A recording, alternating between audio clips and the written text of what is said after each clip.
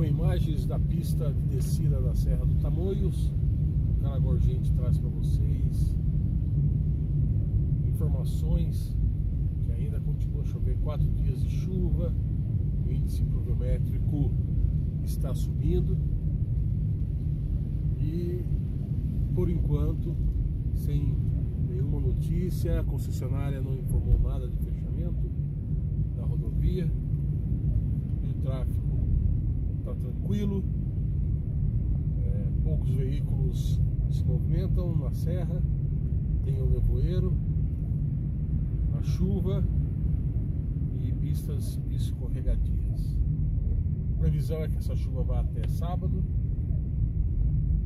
e depois o tempo vai melhorar. Porém, as pancadas de chuva e as chuvas agora entrando na primavera, verão, são mais frequentes. A serra aqui, ela está passando por reforma, recapeamento, nova sinalização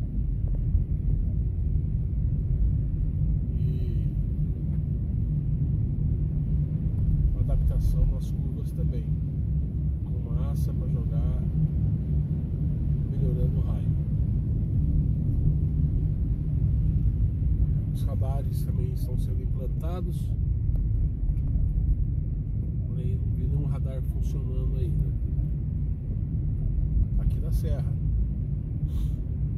Só o que está lá embaixo, na cidade de Caraguá. Tá? Passando posto de guarda lá no Jaraguazinho, bem debaixo do viaduto que dá acesso à, à pista de subida da rodovia dos Tamanhos.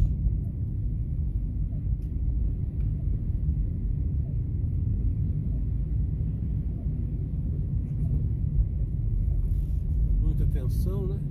Como sempre.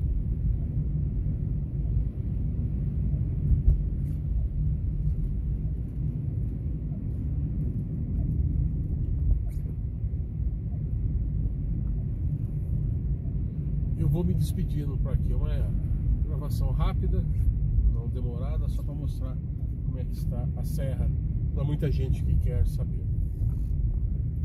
Então, pessoal, curtam o vídeo, compartilhem e até a próxima. Caraguá volta já.